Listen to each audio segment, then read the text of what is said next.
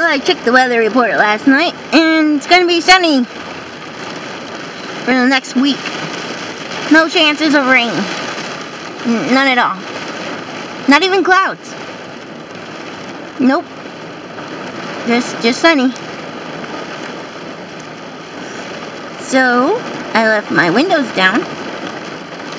Slightly cracked because it's gonna be 90, and then no.